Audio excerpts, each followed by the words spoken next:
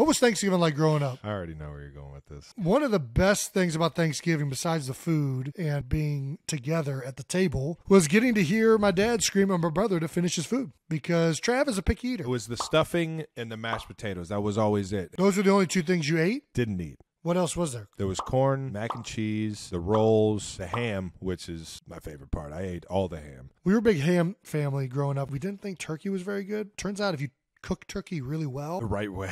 Yeah. it tastes fantastic. We had that dry turkey. if there's one way to piss Ed Kelce off, it is not finishing the food on your plate. Hey, Dad, these mashed potatoes sure are good. These Hungry Jack mashed potatoes. With five sticks of butter. You better eat that food and be thankful. I don't want to eat it. You're I not getting up go. until you finish your food. I said thank you. Ed, let him up. No, he's gonna finish his food and be thankful.